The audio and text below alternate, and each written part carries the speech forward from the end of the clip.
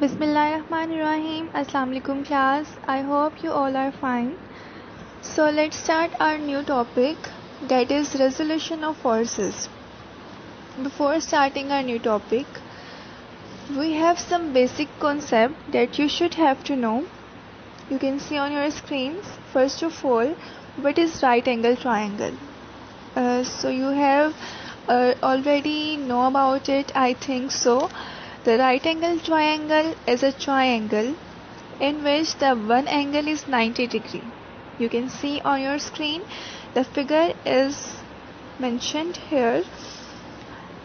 Okay, so this figure in this figure the one angle is 90 degree. So this triangle is known as right angle triangle and the other two angle is less than 90 degree. So next is what is trigonometric ratios? So the ratio between the two sides of right angle triangle is known as trigonometric ratios and there are three ratios uh, you can see in yellow box sine theta. There is a theta means angle. Angle sine theta is equals to perpendicular over hypotenuse. Cos theta is equals to base over hypotenuse. And tangent theta is equals to perpendicular over base. These are the three ratios which we will use in our calculations to find the angles and length of a right angle triangle and these ratios are only apply in the right angle triangle. So you have to learn all these three ratios which we will further use in our numericals in our derivation in this chapter. Okay girls, now we have a table on your book page number 88. Uh, when we have a different ang different angles like 0 degree, 30 degree, 45 degree, 60 degree, 90 degree. So these are some values that we are calculate from calculator but you have to learn on your fingertips.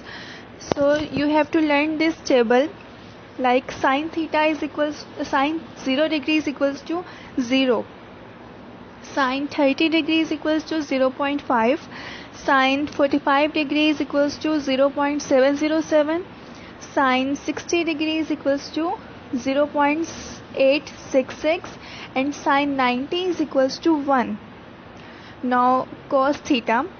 Cos 0 degrees equals to 1 cos 30 degrees equals to 0.866 cos 45 degrees equals to 0.707 cos 60 degree is equals to 0.5 and cos 90 degrees equals to 0 and further tangent theta the same 0 30 45 and 60 and 90 these are the angles between two lines two lengths so you have to learn these values because these are very important from the point of view of MCQs and also it will be used in the numericals. Okay now let's start our new topic 4.3 resolution of forces. That is on page number 88 on your book. The process of splitting up vectors or forces into their components. Forces is called resolution of forces which means the force will split up into their components. And the components are x-axis and y-axis means x component and y component. And we are talking about the force so we will take fx and fy. You can see uh, in the red color fx and in the green color Fy. These are the components which a force is split up and how it, it will be split we can see in our next slide. Perpendicular components. Uh, what are perpendicular components? Perpendicular components are the components which make an angle of 90 degree between them. You can see in the figure f-axis and y-axis are the perpendicular component because they make 90 degree angle between them. So by definition, if a force is formed from two mutually perpendicular components, then such components are called perpendicular components. Mutually perpendicular components, you can see easily in the figure that two vectors forces fx and fy make 90 degree angle. So these components are called perpendicular components. And this is a short question as well. Define perpendicular components. So you have to define just only definition that you can see on your screen.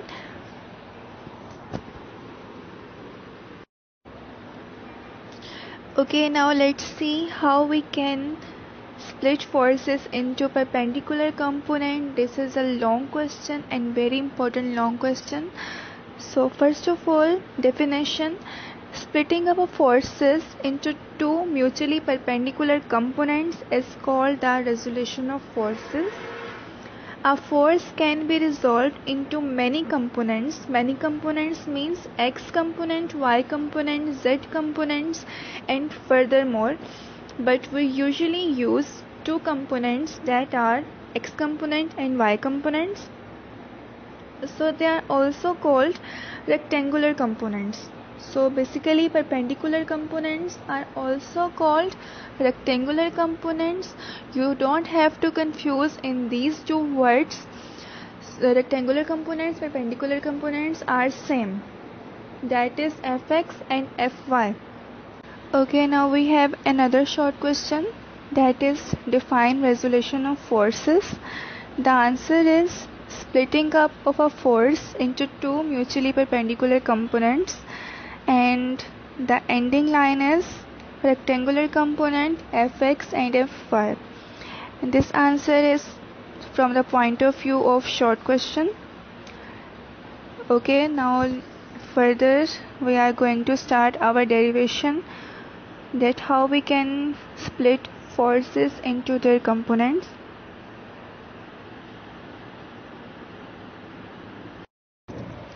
Okay ji let's start that how we can split forces into their perpendicular components. First of all uh, you can see in the figure 4.7 resolution of forces we have two axes y axis and x axis so firstly we consider a force F represented by a line OA and which is making an angle theta with x-axis. You can easily see in the figure. Now the color of the force is pink. Now we have to draw a perpendicular from point A on x-axis. When we join head of force F on x-axis it become right angle triangle because the angle between two lines is 90 so according to head to tail rule we will draw the arrows. Firstly we will take a vector OB first vector. So the head of OB coincides with the tail of vector BA and OA is the resultant of vector OB and BA. You can see in the equation number 1 OA is equals to OB plus BA. This is this equation shows the resultant of force means यहाँ पे OA is the resultant and OB and BA are the perpendicular components.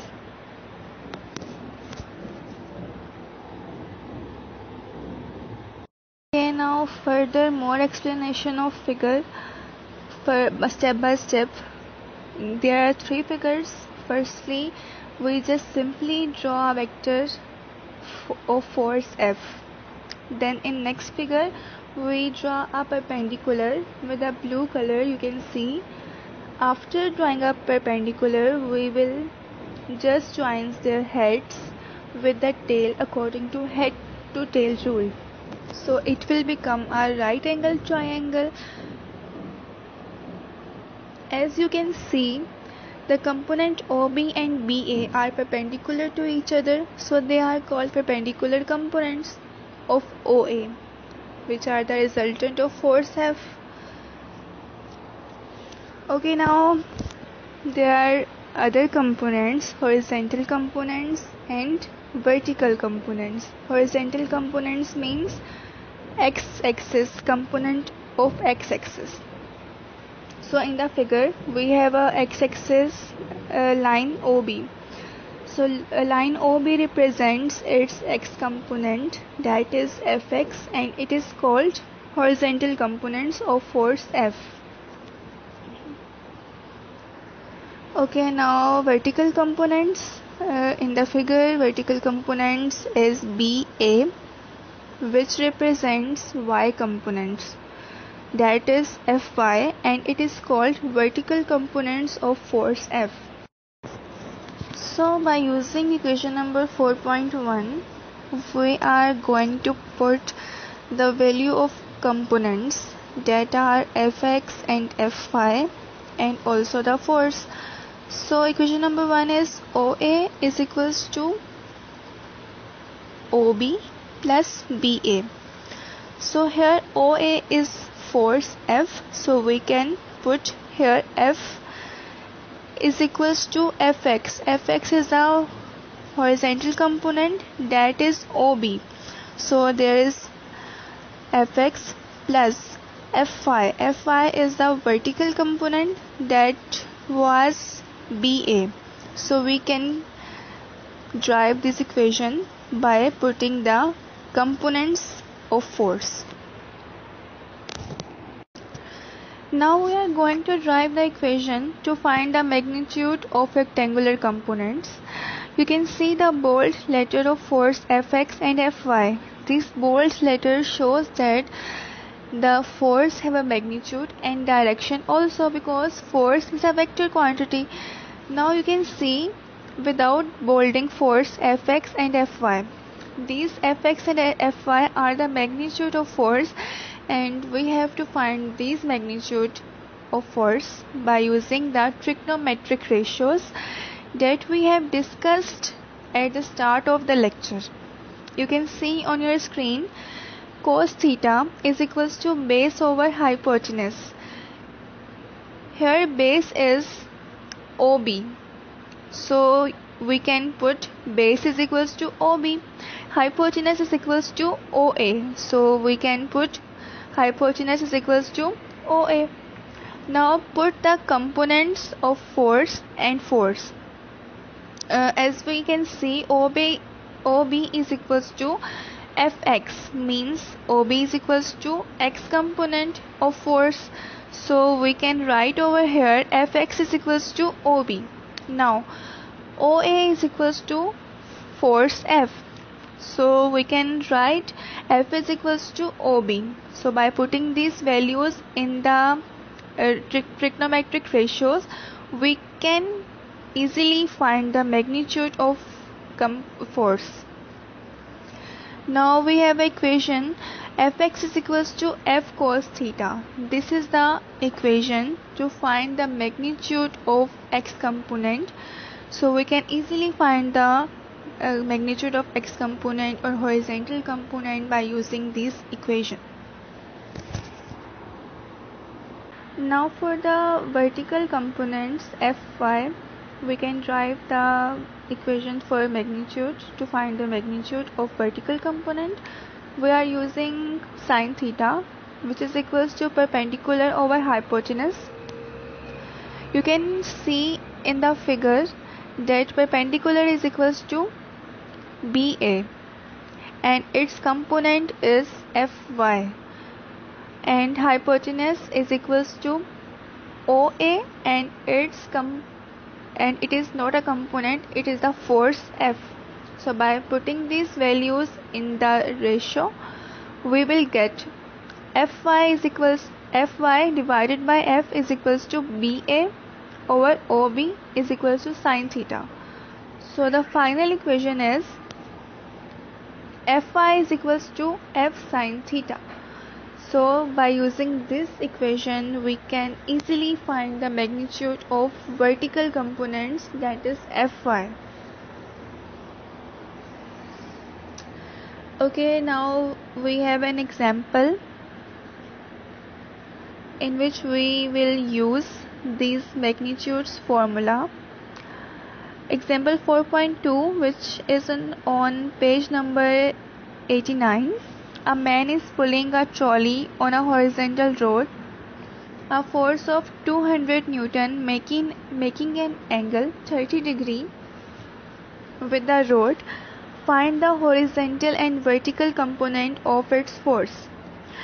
Now we have given in this example force. Force is 200 Newton and theta that is the angle is equals to 30 degree.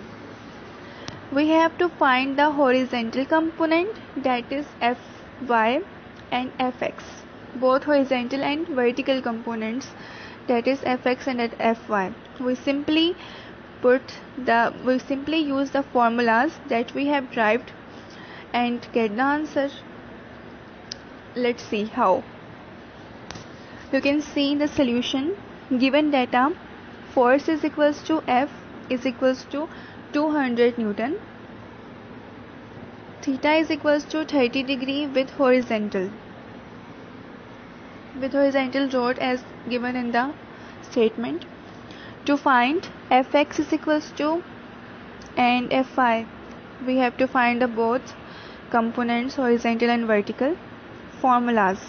Formulas are fx is equals to f cos theta fy is equals to f sin theta. We have derived. Okay now calculations. For the horizontal components we will use fx is equals to f cos theta. So putting the value of force force is equals to 200 newton and cos remains same theta is equals to 30 degree. So by using calculators and uh, if you have learned the table that I have told you then you can easily get the answer of cos 30 degree. If you have calculator then use it.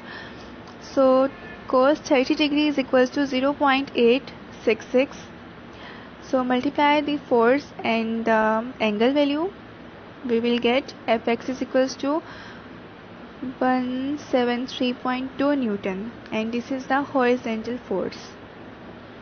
Okay now for the vertical component that is fy we will use the formula fy is equals to f sine theta. Okay same force will remain same. Force is equals to 200 newton that we will put. And next sine theta. Sine remains same and the angle is 30 degree which is also remains same. So by using your calculators you will get the value of sine 30 degree which is 0.5 now multiply 200 with 0.5 and the answer is 100 newton. And this is the vertical force vertical component of the force 200 newton.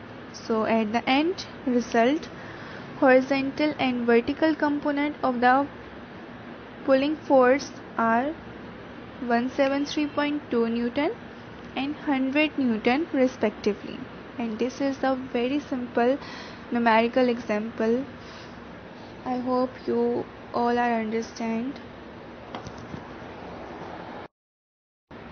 Now we have Pythagoras theorem and this theorem is derived by Greek mathematician Pythagoras.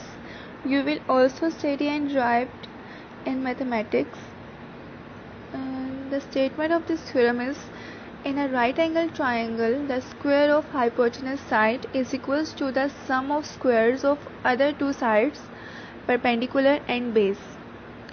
You can see in the figure the perpendicular AB is equals to small a, base BC is equals to small b, hypotenuse CA is equals to small c.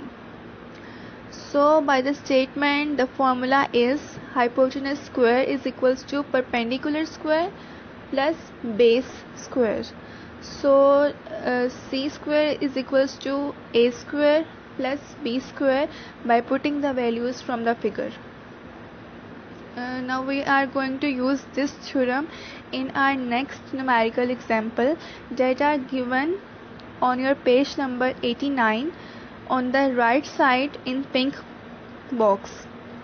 The statement is that in a right angle triangle length of base is 4 centimeter and its perpendicular is 3 centimeter. Find length of hypotenuse sine theta, cos theta and tan theta. Okay, first of all draw a triangle, right angle triangle. So you can see I have draw the right angle triangle base 4 centimeter perpendicular 3 centimeter and hypotenuse is going to be find okay solution. Given data base is equals to 4 centimeter perpendicular is equals to 3 centimeters and find length of hypotenuse sine theta cos theta tan theta.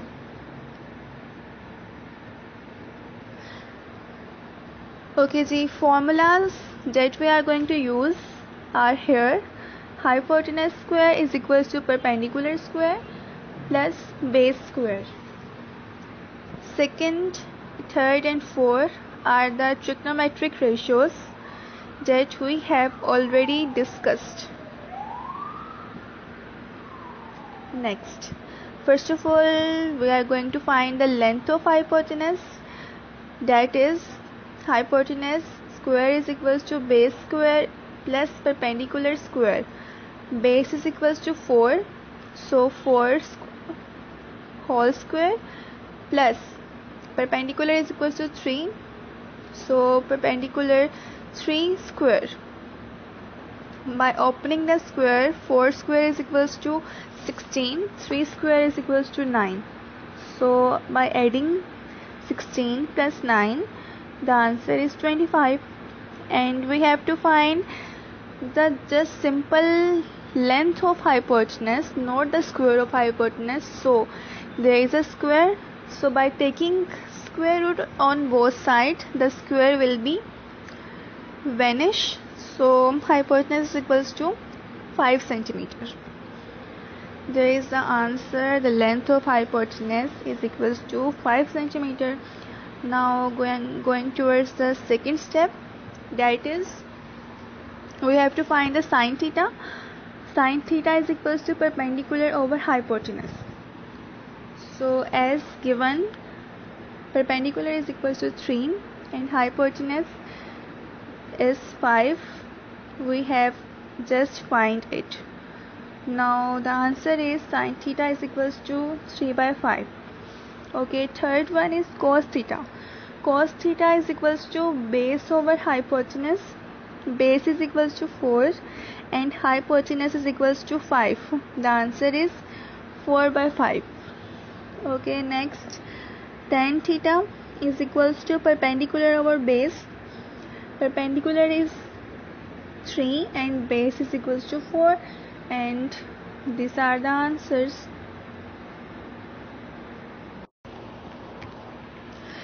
At the end of topic we have a long question with two different statements. The question number one is with what is the resolution of forces resolve of force F into their perpendicular components.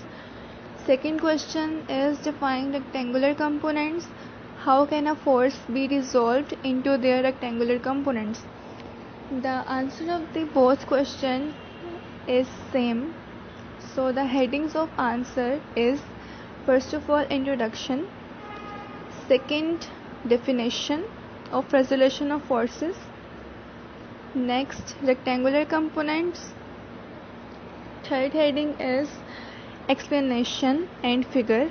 I have just marked from the book the paragraph the starting from consider and ending of representing force f. You can see in the next slide rectangular components and the third one is explanation. And the paragraph from the book that is marked. Fourth one is horizontal component. Uh, you can mark it from the video I have already discussed. And mm, five one is vertical component. And six is magnitude of rectangular component and this is the whole answer of this question. Jazakallah.